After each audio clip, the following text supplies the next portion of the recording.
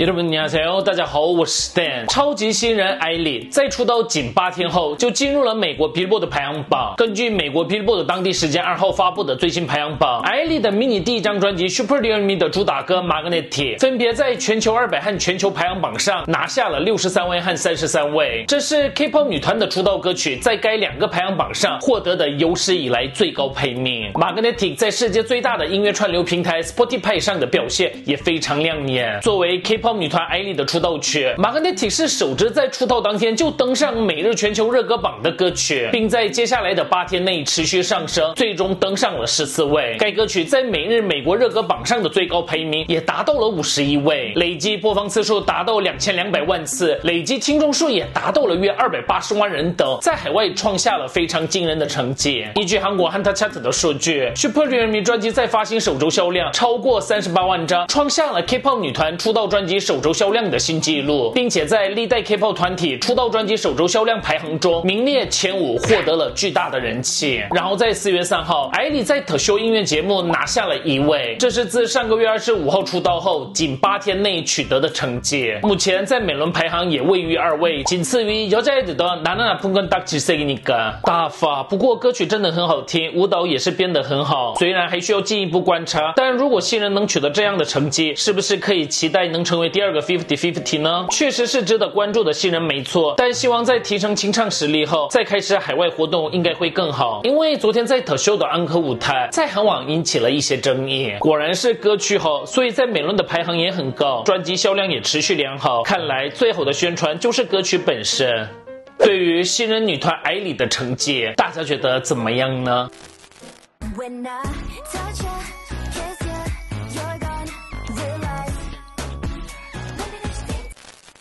接下来我们来看一下，在机场跟大家热情打招呼，结果走过了入口的雨琦。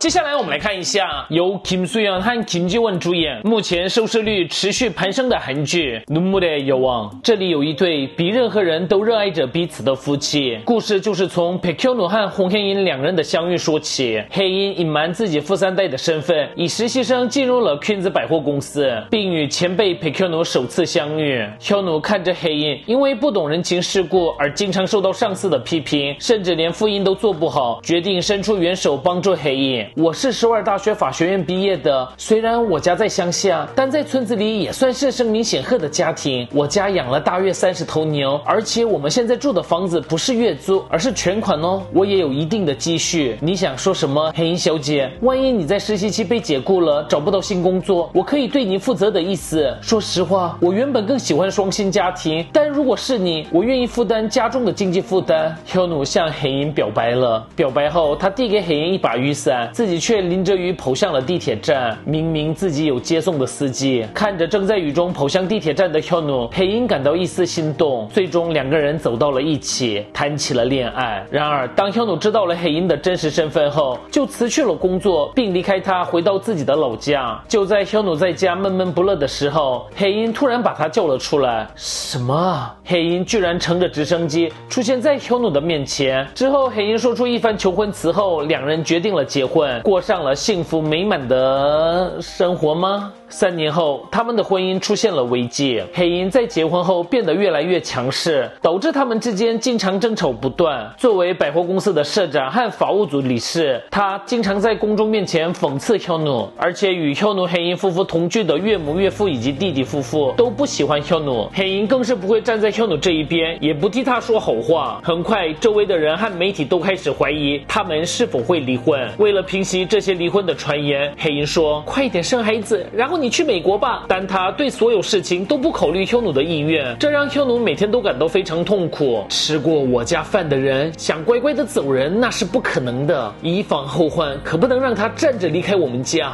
丘努虽然很想离婚，但他因为害怕岳父伤害他，他没有办法提出离婚。这个家还有个传统，祭祀也都要由女婿们准备。丘努又是向好友倾诉，又是独自接受精神科治疗，这这段婚姻对他来说已经是一种折磨了。别担心，我不会让你流一滴眼泪的。奎肖努还信了当时的求婚誓言，其实自己早就哭成泪海了。受不了的肖努想散散心，回到了老家。在一番苦恼后，肖努决定向海英提出离婚，也把想要离婚的事情告诉了家人。家人们纷纷表示：“为什么？”回到家的肖努把写好的离婚书从保险柜里拿出来。就在肖努要将离婚书递给海英时，海英先开口说自己也有话想说我活不长了，医生说我只剩下三个月了。”肖努不敢相信的待在了原地。黑鹰说自己已经去医院确认过了。面对平淡的黑鹰，肖努担心的流下了眼泪。他说一直以来都很对不起他，以后不会再让黑鹰生气了。没有你，我该怎么活下去啊？为了掩盖离婚书，肖努流着眼泪抱起了黑鹰。黑鹰真的只剩三个月了吗？两个人的关系将会如何发展呢？韩剧《눈물의여왕》。